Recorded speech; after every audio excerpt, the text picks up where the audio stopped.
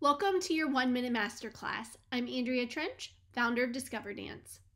In episode 15, I spoke about putting systems in place to avoid distraction and misbehavior. This is so you ultimately won't have to discipline. So let's talk about across the floor time in our early childhood dance classes. Waiting for turns to go across the floor is the perfect opportunity for class to derail. Children will become bored and will find ways to get out of the situation. Ever experienced the dreaded potty train? Developmentally, this is appropriate.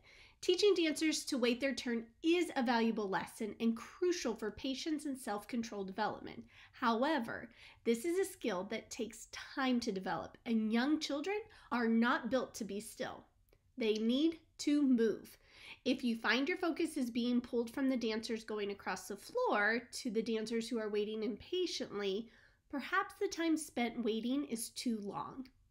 The cure for this is one of my favorite management tools obstacle courses.